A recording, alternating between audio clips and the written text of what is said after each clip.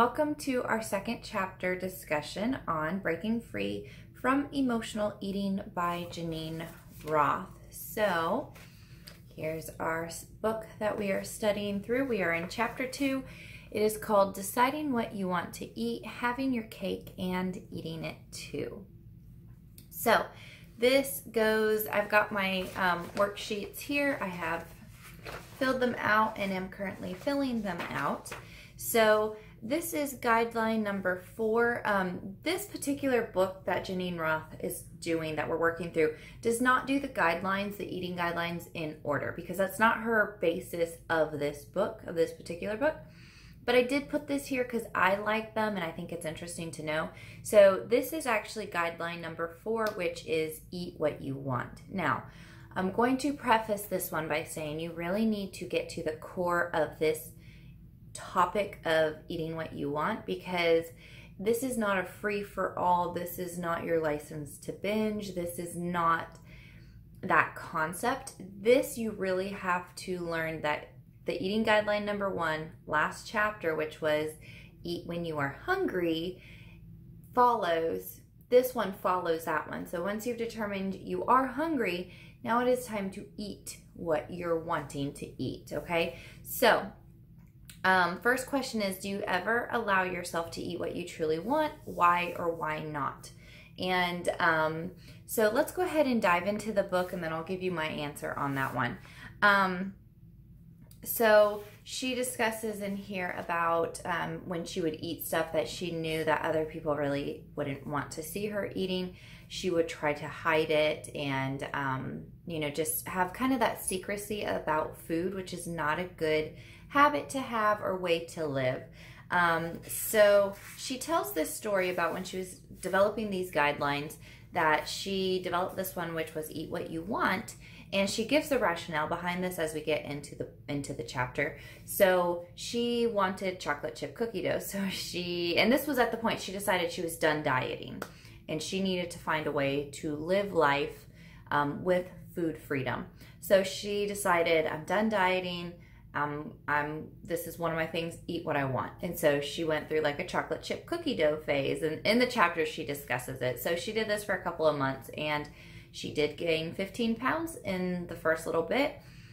Then as she kind of worked through her food, her wanting of food, she went she realized that when she would ask herself, well, what do I want? It would be something like chicken and vegetables or quinoa or rice, you know. So um, then, so the, the couple months after that, she started stabilizing in her weight, and then she actually was able to lose weight um, towards the end of her working through these guidelines. Um, one of the reasons, this is page 19, one of the reasons it, it's terrifying for compulsive eaters to believe we can eat what we want and not become obese is that we think we want so much. We think we still want what we weren't allowed as children, as teenagers, and young adults.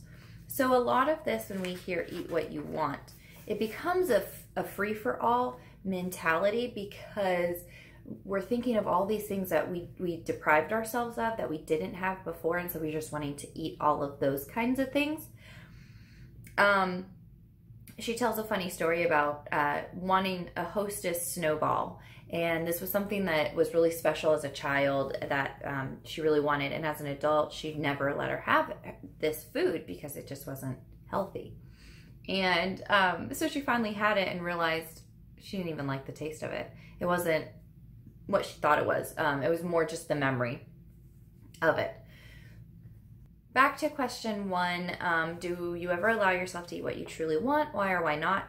Generally, I don't. And I wrote not under a um not under a controlled method. Like I feel like I always have a controlled method of eating what I want. Um, I don't normally do this because I feel like if I did, I'd never eat healthy again. Um, now, that is my mentality, my maybe older mentality. Uh, it is not my current one that I have been able to work on.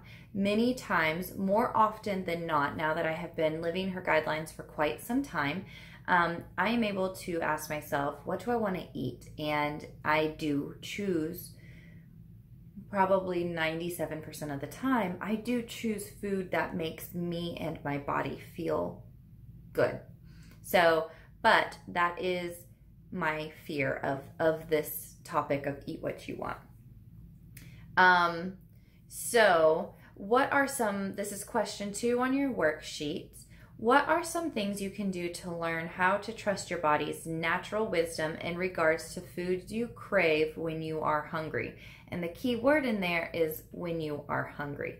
So um, I wrote down a couple of ways that I have been learning how to um, trust my body's natural wisdom in this. And so um, I have written um, when I make and have victories, um, it it inspires me to continue to have those victories. So I'll write about it, I'll share it, I'll remember um, um, how great it feels to make those good choices. Um, I sit and feel the hunger and see what I really want. So I had actually done this the other day. I had a doctor's appointment. It had been a rough day. Um, my daughter was super fussy. I had a doctor's appointment. Of course, they were late. I was. It was like they didn't even see me an out till an hour after my appointment. I thought I was going to have this nice day to have just a little bit of chill time at home to work on some projects I needed to do and just to kind of decompress a little bit. Um, my, my daughter is three. I'm not sure if everyone knows that, but my daughter is three. And um, so I had this plan that I was going to come home and I was going to make this wonderful, healthy breakfast with um, a healthy pancake and just sit outside, enjoy it. Um, eating any meals alone is like a rarity. So um, it didn't work out that way. I had like 25 minutes and then I needed to go pick her up from school. So I came home on the drive home. I, and, oh, and I had been fasting because I had to get blood work done. So I, um, and the appointment was at 1030. They didn't see me till 1130 and I didn't get out of there until almost like, it was a little after 12 by the time I'd gotten out of there. So I was hungry. I had brought in some dehydrated apples that I had made in my dehydrator and I ate those on the way home. There was probably 15 of them. And um, as I'm driving and eating these, I'm thinking, well, what do I want to have at home? Because clearly I don't have time to like do this really fun cooking thing, try this new recipe, and sit down outside and enjoy it. And I really didn't have anything I wanted to eat. I kept thinking, well, I am hungry. What do I want?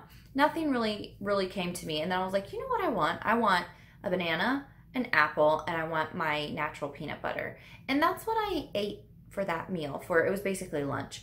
Um, that's what I ate, and I felt good. I felt satisfied, and I felt super happy that I made a good decision. And so by making these good decisions, it's fueling me to continue to do that more often.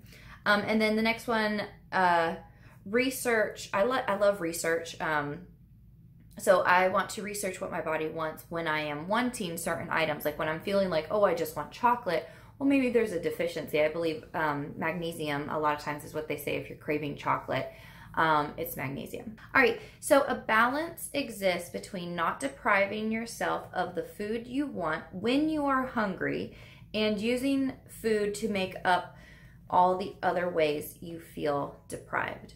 And this again is a a core to or a, a fundamental important thing for you to like just get because food does not relieve or change deprivation that we feel in other areas of our lives. So, um, the next uh, question, question three, are what are some other areas of your life that you feel lacking or deprived? And um, you can list out the other areas of your life. I wrote some um, in there just uh, in my relationships. Um, I'm currently having some issues in my marriage and we're working through it. Um, my feelings of it seems like everybody else has it so easy and I just, it's like, it just never seems great with mine. Um, finances always seem to be a place of lacking or just, you know, whatever. Um, and so those are like some that I wrote. So um, we try to fill these voids in relationships and issues with our marriage, um, difficulties I'm having currently with parenting. We try to fill those issues, those deprivations with food. Food is not going to fix parenting issues or relationships or finances. That's just the bottom line of that. All right, so bottom of page 20, it says eating what you want gets translated to eating whenever you want, regardless of your hunger. And it is not long before the eating gets out of control and you fulfill your own prophecy. You can't eat what you want because when you do, you gain weight. So, like I said, you've got to really hear the core of this that you're you are basing what you want to eat on your hunger, not on your head hunger or your cravings. Like, um, not well, not even cravings. You're not basing this as a free for all. I can eat whatever I want and be thin because the true bottom line is you can't do that. You can't do that. All right.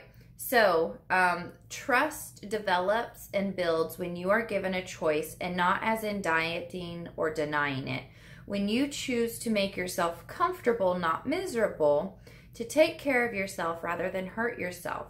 So, I put, and this is a little quote on your worksheet, um, and I put that equals your lifestyle change, which is truly what we need in order to have food freedom. And it also is a mindset shift.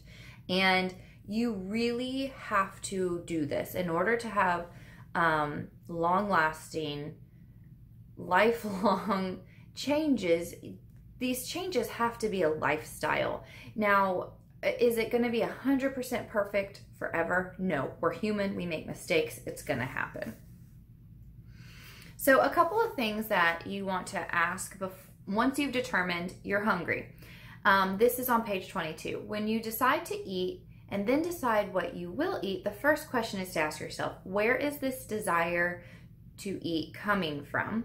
The second question is, where is the desire for this particular food coming from?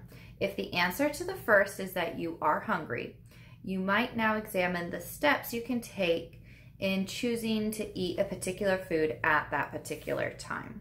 Remember in chapter one, we talked about when you're eating when you're hungry, you are able to have satisfaction in that food and you know you're going to eat again in a couple of hours when you truly get hungry again. So, some of these points, um, this next point kind of goes along with that. Okay, so she says, um, forget about the calories. Um, do you want the hard boiled egg? Because if you don't want it and you eat it, you won't be satisfied. Chances are you'll go grazing for more food, which means you'll essentially end up eating probably more calories than you were wanting in the first place. So, question four on your sheet says Have you seen that when you eat something because it has fewer calories or points, but you really don't want it, that you end up eating more calories because you graze?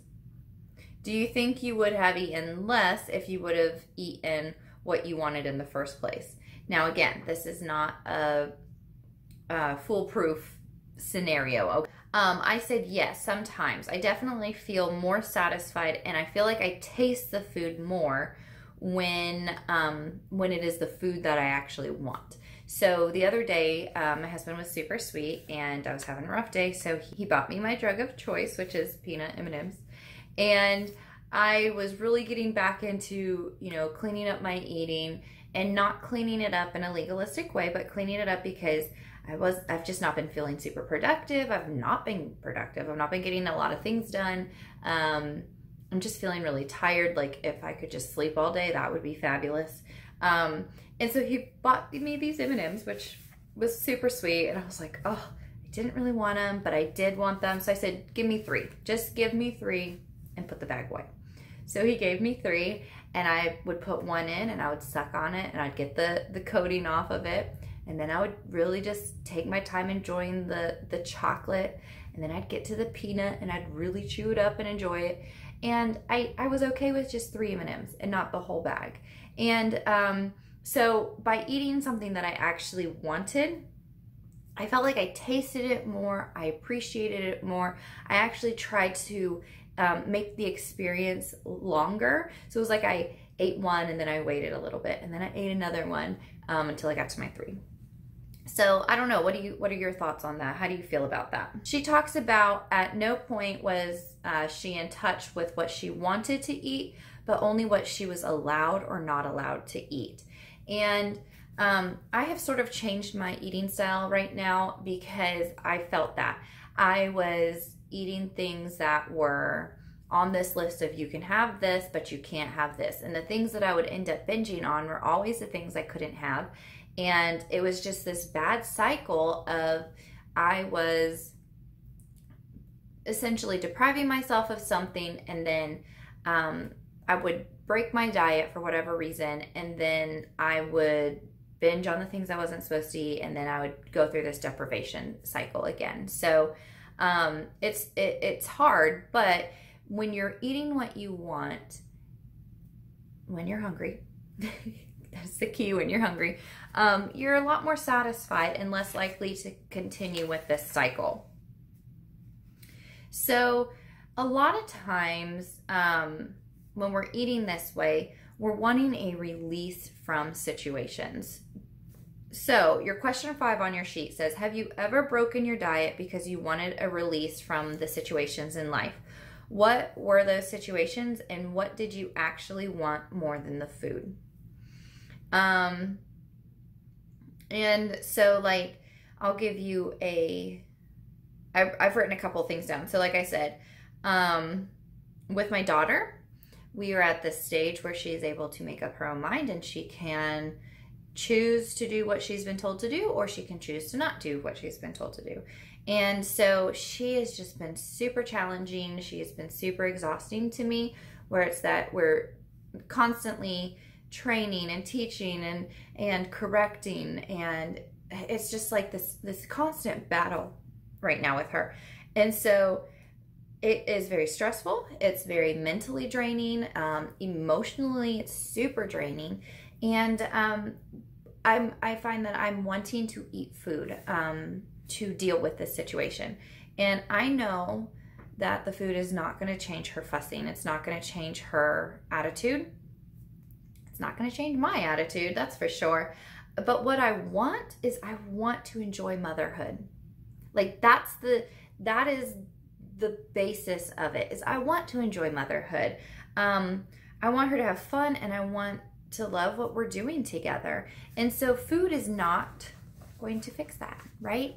Um, so it's good to look at maybe some situations you're currently having in your life and realizing that there's not an actual food like peanut M&Ms are not going to quit her fussing and are not going to make me enjoy motherhood more.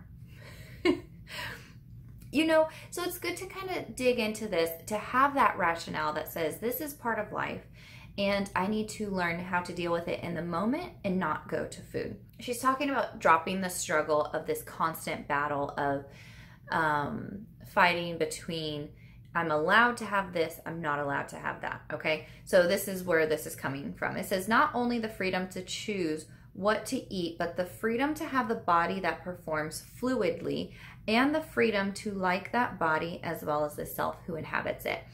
And this is something that I am finding very uh, life changing and very important to my journey towards food freedom and breaking the cycle of emotional eating, compulsive eating is realizing that I have the ability to choose whatever I want to eat. I can eat peanut M&Ms. I can eat all the peanut M&Ms. But what is my body going to feel like after I eat all the peanut M&Ms? It's going to feel lethargic. It's going to feel sluggish. I'm not going to like the person who inhabits it. I'm going to feel defeated. I'm going to feel like there is something completely wrong with me, that I can't get this together. I mean, uh, you guys know exactly what you're going to feel when you eat that way, okay? Or I can choose to eat a more balanced diet, a, a healthier meal, and I'm going to feel light and I'm going to feel energetic afterwards and I'm going to be productive and I'm going to get things that I need to get accomplished and I'm going to be able to um, have energy to do the next thing. I'm not going to completely exhaust my body through food. And that ability, that's freedom. That is freedom right there. And so I've actually been able to do this a couple times here recently where I wanted to eat something else and I thought, okay, if I eat this, this is how I'm going to feel. Am I okay with that? And if I'm okay with that, then go ahead and eat it.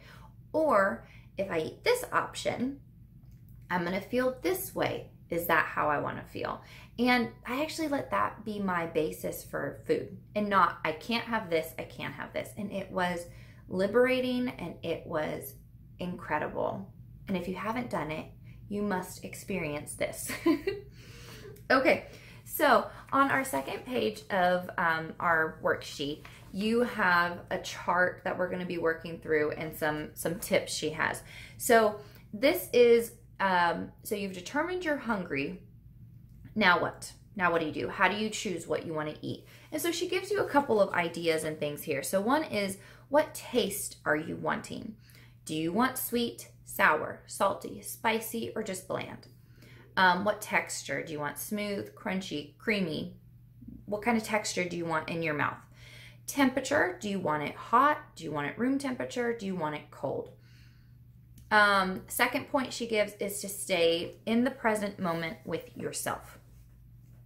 So she writes here on page 27 when you eat what you thought you wanted yesterday, it doesn't satisfy you today.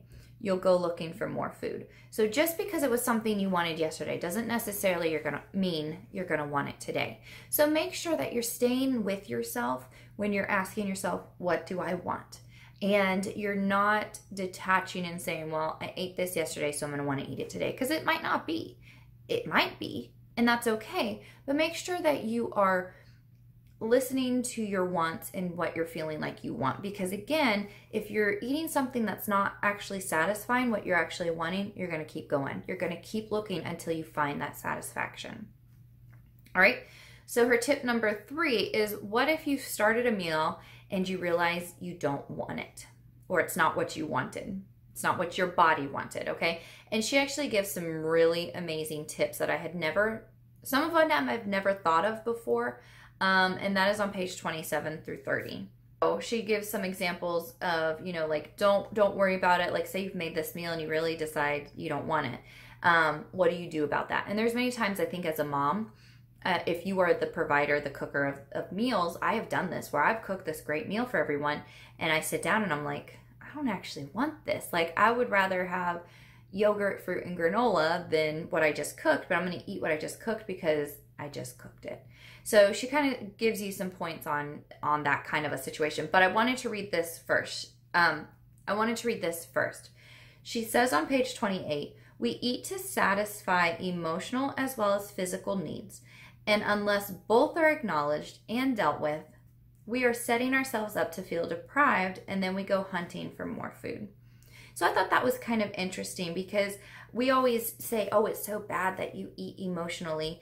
Um, you only need to pay attention to your physical needs. But the truth is, we are emotional beings. We were created emotional beings. And so, therefore, her her statement here where it says we need to at least acknowledge the emotional and the physical and we need to somewhat deal with the emotional and the physical um, you're not going to really feel that satisfaction so i thought that was an extremely deep and good point um, so she also talks about we're back to what if you started a meal and you realize it's not what you want? Um, she talks about like if you're alone or if you're with people at a restaurant, um, what you can do. Um, okay, so then the last part of this chapter is dealing with um, what she calls hummers, foods that are hummers that hum to you, and foods that are beckoners. Now, she did not create this um, label, this title. This was actually created by um, somebody else uh, the Psychologist Eat Anything Diet by Lillian and um, Leonard Pearson is who um, coined these phrases. So, a Hummer is a food that you know you want um, before you see it. So, it's something that says um, you can imagine the texture, the taste, the temperature. Um, it's a food that you really want.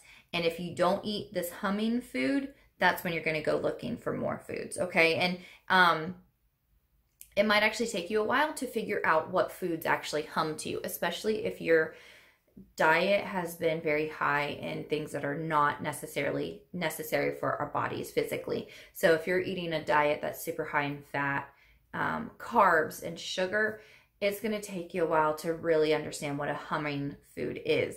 Um, and an example of this was, like I told you the other day, I had this doctor's appointment. I had this great plan of, of eating these wonderful pancakes I was going to make.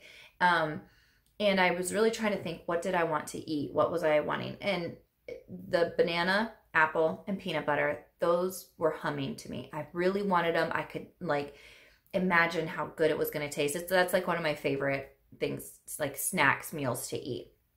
So there's that. Now, a beckoner, a beckoner is what it sounds like. It is something that's calling you, calling to you, even though you did not want that food before the commercial came on, before somebody talked about it, before you saw it at the grocery store, um, before you walked by a bakery and you smelled bread and pastries. This is a food that you had no intention of eating until it beckoned you. Um, now, they're more, these foods are generally very convenient. So, um, prepackaged things are beckoners a lot of times. And something, so one of the things when I first came home before I ate the banana and apple and peanut butter is I had opened the pantry and my husband and my daughter really like these peanut butter crackers. There's like six of them in a package. Um, and they're very convenient. They're very fast. Um, they do have the peanut butter. Uh, but it's a beckoner food because it's like I can grab it, rip it open, and eat it. Whereas the banana and the apple, I have to actually get, open up, cut. I have to, you know, spoon out the peanut butter, you know, so there's a little bit more work involved. So on your second sheet, I've given you a chart where I want you to write the thing that you ate, the item that you ate, whether on a scale of one to 10, whether it hummed to you or um, if it was a beckoner. And again, the scale is written there, 1 to 10, and uh, go for that, okay? So there's no judgment in what you are eating. This is exploration. This is learning about yourself. And you are going to see and see if there are foods that really you're eating because they're really what you want, what your body wants, or are you eating things because they're convenient? She talks about just taking your time with this process because if you've never really done this and you've just kind of grabbed things based on um, availability, on how many calories they are, you may not really know what you want to eat. So give yourself time, you know, if even if it's just like one meal at a time, one snack at a time to really let your body pick what it wants. And I've been doing this and this this concept has really been life changing for me. Um, she writes here on page 34, it says, if you don't know what you want to eat, you're either letting yourself get so hungry you'll eat anything or you're not hungry enough. And this is a true point because sometimes if you're not really sure what you want to eat, it, you know, like sometimes you, you're like bored, okay? And you keep going to the kitchen. Like you keep opening the fridge thinking that the answer is going to be in there of, of what's going to make you not bored. Um you know or you're going back and forth to the pantry you're not getting anything out of the pantry but you're like you're you're looking. So maybe you're not really hungry or um and it was and this i felt after my fasting maybe you've let yourself get so hungry you don't even know what you want to eat and i had felt that way after fasting because i was like i'd given myself all these really good options and i was like no no that doesn't sound like i want it i don't really want to eat that I'd even debated just getting a cup of coffee and going to get my daughter, you know. So that's a really good point to remember that if you can't really decide what you want, either you're not hungry or you let yourself get too hungry. That is the end of our chapter two. Um, I feel like this chapter again was so powerful. If you let these truths and implement your life, they can be very life changing. It's going to take practice, but give it a shot. So, have a wonderful day, make wonderful choices, and I will see you guys for chapter three.